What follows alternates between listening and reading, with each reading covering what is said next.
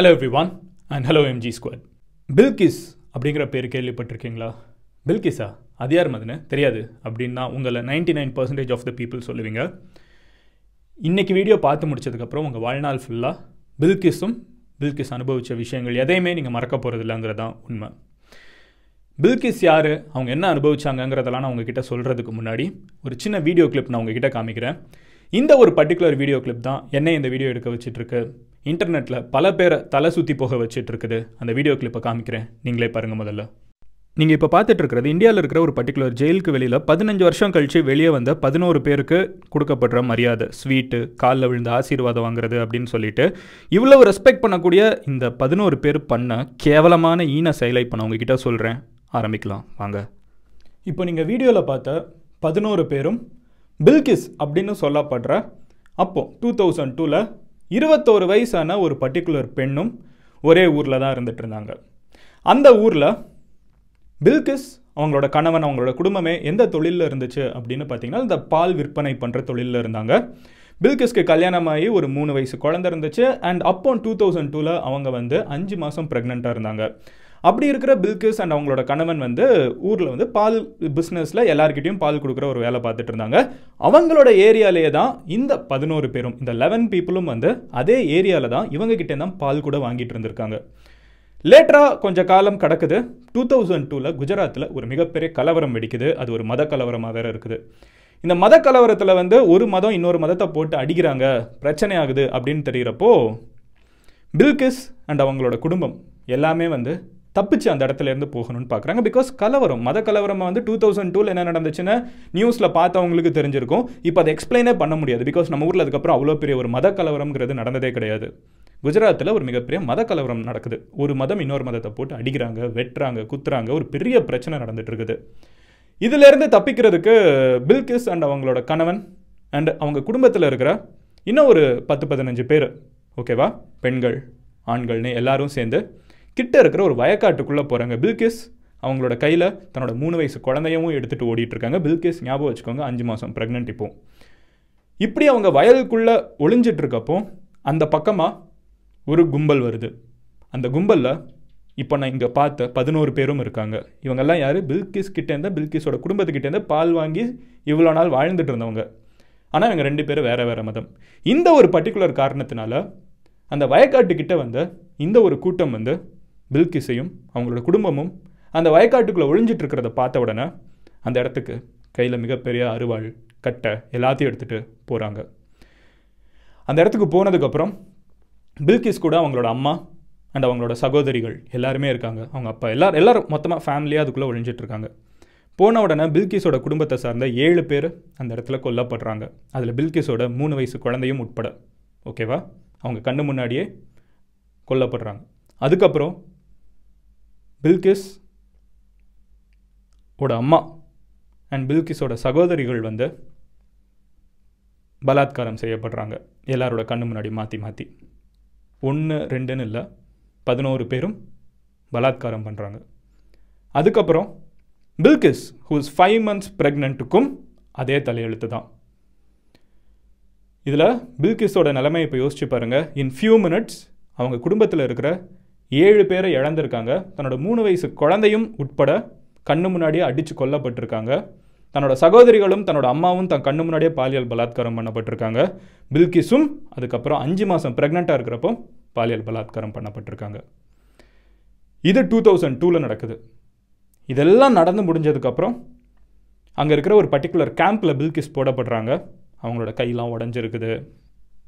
கிளாஸ்லாம் வச்சு தொங்க விட்டுருக்காங்க. பில்கிஸ் மிராக்குலஸ்லி அதிலேருந்து தப்பிச்சு வெளியே வராங்க உடல் மறுபடியும் தேருது பில்கிஸ்க்கு குழந்தையும் பிறக்குது. பில்கிஸ்க்கு பிறக்கிற குழந்தைக்கு தன்னோட மூணு வயசு இறந்த குழந்தையோட பேரை வைக்கிறாங்க. அதுக்கப்புறம் பில்கிஸ் அண்ட் அவங்களோட கணவன் வந்து அவங்களோட வாழ்க்கையோட ஒரு மிகப்பெரிய போராட்டத்தை கையில் எடுக்கிறாங்க. சட்ட போராட்டம். யாருக்கு எதிரான சட்ட போராட்டம்னு பார்த்தீங்கன்னா இந்த பதினோரு பேர் பண்ண ஒரு கொடுமைங்கிறது வந்து இந்தியா ஃபுல்லாக கொலை நடுங்க வைக்குது. சிபிஐ வந்து தான் முன் வந்து இந்த கேஸை எடுக்கு எடுத்திருக்கணும். சுப்ரீம் கோர்ட் வந்து அவங்களை சிபிஐயும் டிரெக்டும் பண்ணுது. நீங்கள் வந்து இந்த கேஸை எடுங்க. இந்த கேஸை நீங்கள் எடுத்து நடத்தணும். ஏன்னா ரொம்ப கொடூரமான ஒரு விஷயத்தை பண்ணியிருக்காங்க. இந்த கேஸில் இன்வால்வ் ஆன அத்தனை பேரையும் பிடிச்சி ஜெயிலில் போட்டுன்னு சொன்னதுக்கப்புறம் டூ தௌசண்ட் டூவில் நடந்த ஒரு பர்டிகுலர் சம்பவத்து சம்பவத்துக்கு டூ தௌசண்ட் எயிட்டில் மும்பையில் இருக்கிற ஒரு சிபிஐ கோர்ட் வந்து ஒரு ஜட்ஜ்மெண்ட்டை கொடுக்குது. அந்த ஜட்ஜ்மெண்ட்டில் இன்வால்வ் ஆன பதினோரு பேருமே வந்து லைஃப் டைம் கன்விக்ட் பண்ணப்படணும்னு சொல்கிறாங்க வாழ்நாள் ஃபுல்லாக ஜெயிலில் இருக்கணும்னு சொல்கிறாங்க இந்த பதினோரு பேரும் ஜெயிலுக்கு அனுப்பப்படுறாங்க. இப்போ டூ தௌசண்ட் எயிட்டில் லைஃப் டைம் இம்ப்ரிசன்மெண்ட் அப்படின்னு ஒரு விஷயம்னா வாழ்நாள் ஃபுல்லாக ஜெயிலில் இருக்கணுங்கிறது நம்ம ஒரு சைடு பார்த்தாலும் இன்னொரு சைடு ஒரு ஒரு ஸ்டேட் வந்து எப்படி இன்டர்பிரட் பண்ணுறாங்கங்கிறதுல இருக்குது. குஜராத்தில் வந்து அதை எப்படி இன்டர்பிரட் பண்ணுறாங்கன்னு பார்த்தீங்கன்னா ஃபோர்டீன் இயர்ஸ் அப்படின்னு சொல்லி இன்டர்பிரட் பண்ணுறாங்கன்னு சொல்லப்படுது. ஆனால் அது ஒரு ஒரு கேஸ்லேயும் அதுக்கப்புறம் வேணால் அப்பீல் பண்ணுறது அதெல்லாம் போயிட்டுருக்கும். ஸோ இவங்க வந்து டூ தௌசண்ட் எயிட்டில் ஜெயிலுக்கு போகிறாங்க two thousand to almost fifteen years fourteen years கிட்ட ஆகுது.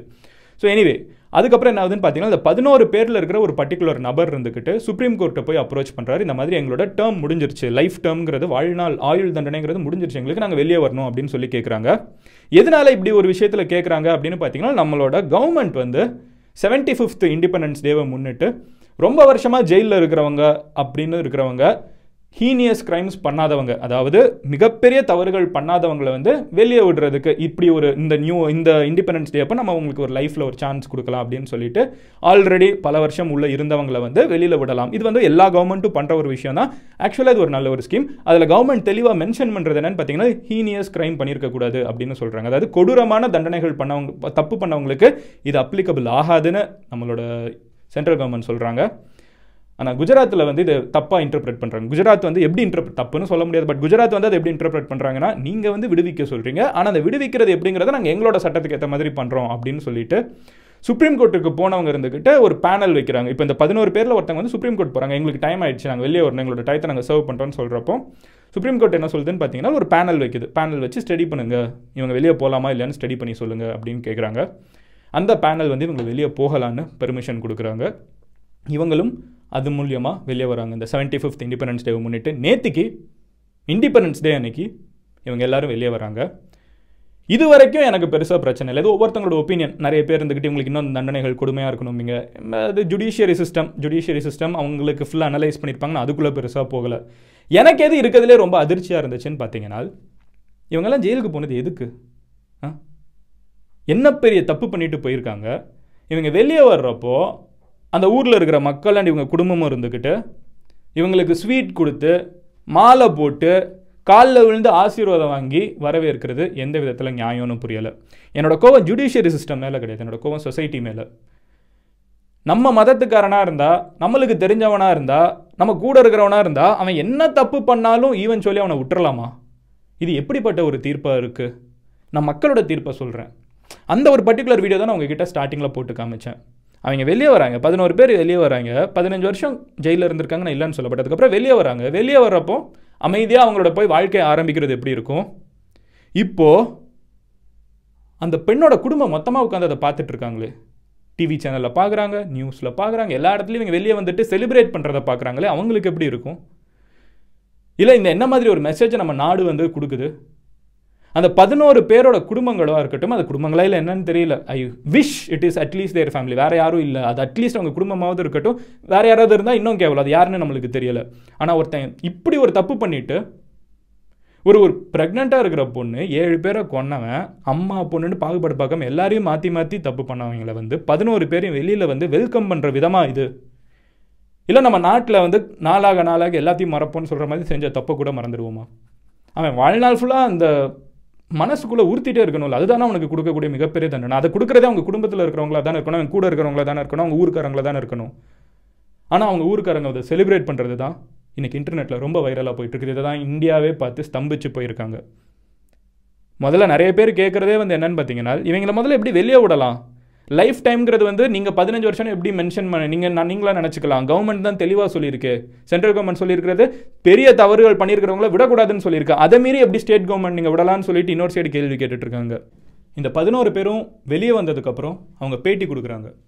பேட்டி கொடுக்குறாங்க. அவங்க பேட்டியில் என்ன சொல்கிறாங்கன்னு பார்த்தீங்கன்னா நாங்கள் வந்து வெளியே வந்தது எங்களுக்கு சந்தோஷமாக இருக்குது. இவ்வளோ வருஷம் கழிச்சு நாங்கள் வெளியே வந்திருக்கோம். எங்கள் வாழ்க்கையை நாங்கள் மறுபடியும் ஆரம்பிக்க போகிறோம் எங்கள் குடும்பத்துக்கெல்லாம் நன்றி.